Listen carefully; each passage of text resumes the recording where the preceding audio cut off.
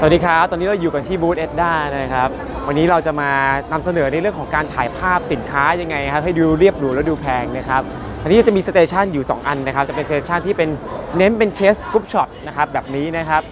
แล้วก็มีอีกอันหนึ่งอีกด้านหนึ่งนะครับจะเป็นนาฬิกานะครับ เป็นถ่ายแบบเป็น single shot นะครับ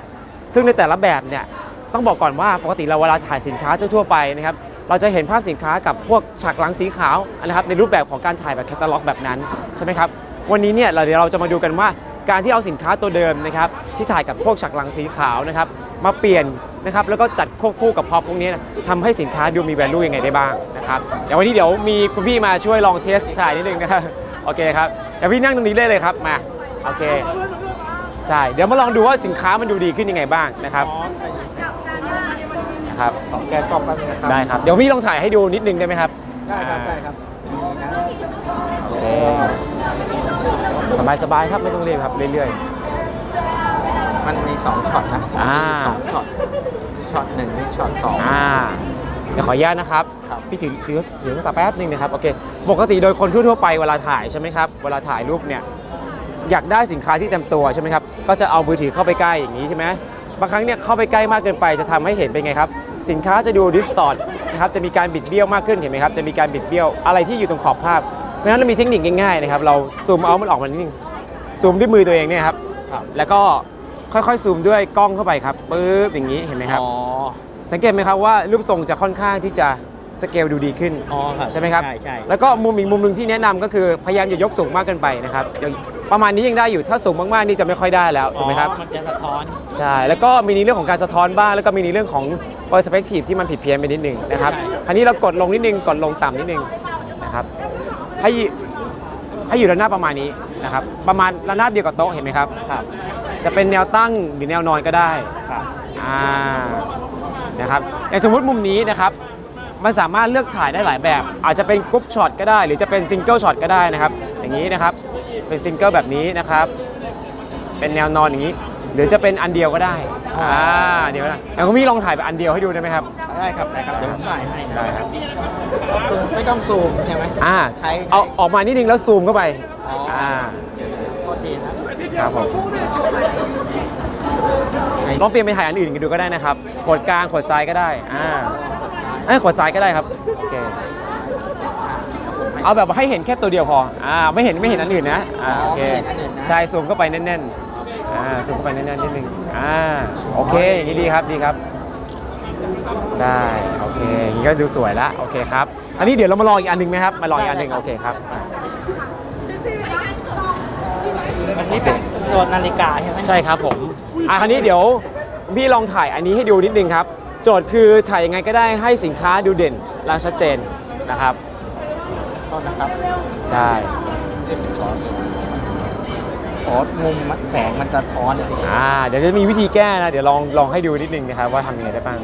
เนี่ยมันจะสะท้อนอย่างเงี้ยถ้าอ่าใช่ไหมครับเหมือนกันครับเหมือนกับเอาเมื่อกี้เลยนะครับ เวลาเราถ่ายรูปทั่ว ๆ ไปนะครับ พยายามนะครับ ไม่ต้องไปใกล้มากนะครับ ไม่ต้องไปใกล้มากนิดนึงนะครับเราออกห่างมานิดนึงนะครับ ถ้าใกล้มากก็เหมือนกันครับ เป็นไงครับ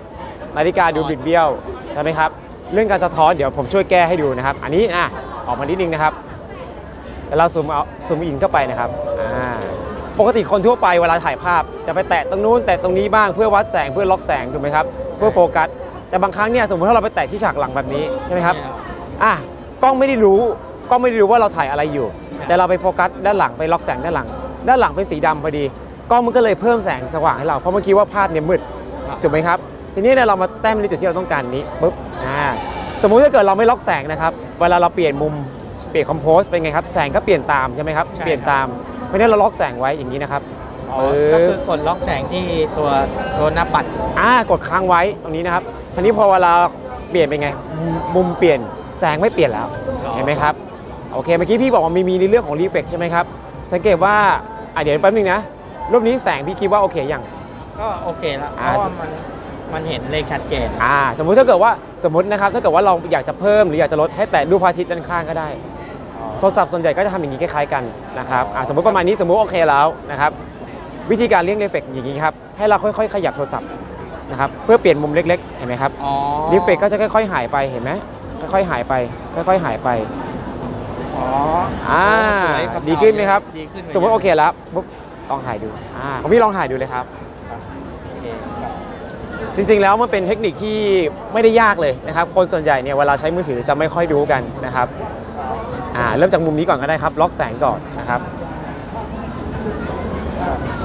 อ่าสมมติว่าแสงโอเคแล้ว สมมติโอเคแล้วล็อกแสงหรือยังครับเออมันมันมันมันล็อกอะล็อกอะเดี๋ยวนะกดค้างไว้นิดนึงได้ไหมตอนนี้ล็อกได้ไหมได้เหมือนกันครับ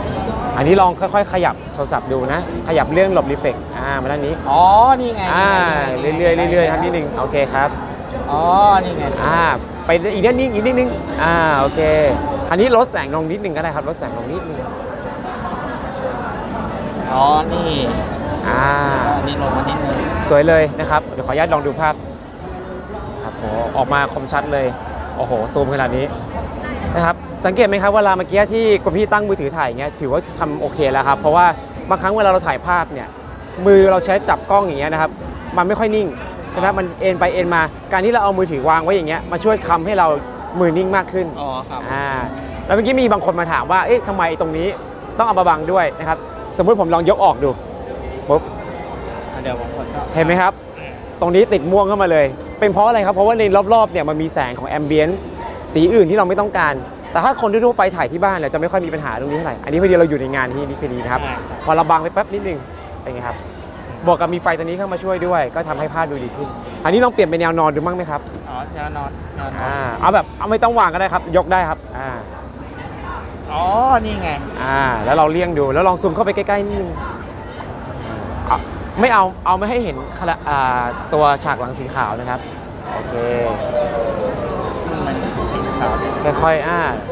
วัดแสงให้อันเดอร์นิดนึงให้ติดมืดนิดนึงนะครับ ไม่ต้องสว่างมากเกินไปนะครับ แสงแค่มันลด ใช่ครับแสงลงอ่าลดแสงลงนิดนึงครับโอเคอ่าอย่างนี้พอได้ครับกำลังดีครับ นี่แหละครับได้อยู่ครับอ่าสวยอยู่ครับขออนุญาตนะครับตรงนี้มันจะสว่างนิดนึงก็ไปลใช่ดแสนิดงนึงเพิ่มต้องบอกว่าบางครั้งเนี่ยสินค้าบางอย่างเนี่ยถ่ายออกมาแล้วเกิดรีเฟกบ้างนิดหน่อย ไม่ได้ดูแยกอะไรนะครับแต่ว่าบางอย่างเนี่ยต้องมีรีเฟกด้วย อย่างยกตัวอย่างภาพนี้เดี๋ยวผมให้ดูไอตัวนี้นะครับ ครับ ให้ดูภาพภาพหนึ่งนะครับ ถ้าสมมุติว่าเดี๋ยวนะครับ เป็นภาพใหญ่ที่เราเห็นไอ้ภาพแว่นตาเมื่อกี้นะครับอ่าภาพนี้เห็นไหมครับสมมติว่าภาพนี้เนี่ยนะครับแว่นตามีประหลอดพวกสีพวกนี้มีน้ำเงินมีเหลืองมีม่วงอ่อนอะไรก็แล้วแต่ใช่ไหมครับถ้าเกิดว่าแสงพวกนี้ที่มันเกิดขึ้นเนี่ยมันเกิดจากการสะท้อนตรงนี้ สะท้อนของพวกซอฟต์บ็อกซ์สะท้อนของแหล่งกำเนิดแสงเข้ามา ถ้าเกิดตรงไหนที่มันไม่สะท้อนมันจะเห็นเป็นสีดำแบบนี้